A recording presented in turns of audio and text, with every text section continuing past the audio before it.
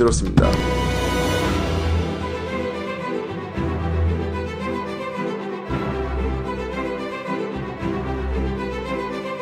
살아갈 수 없듯이 저희도 팬분들이 없으면 살아갈 수 없습니다.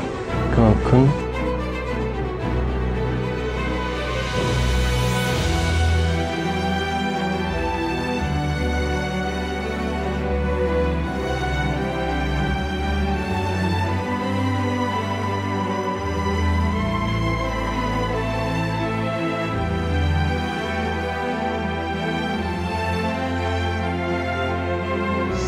Shutter.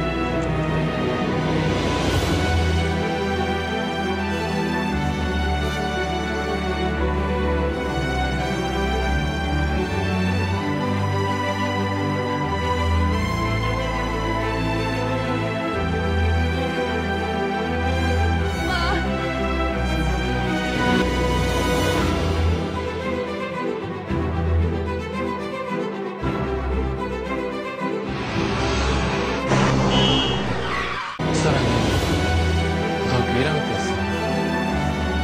제가 고등학교 때 좀 방황을 많이 했거든요. 그러다 정신을 차리게 된건걔 때문이었어요.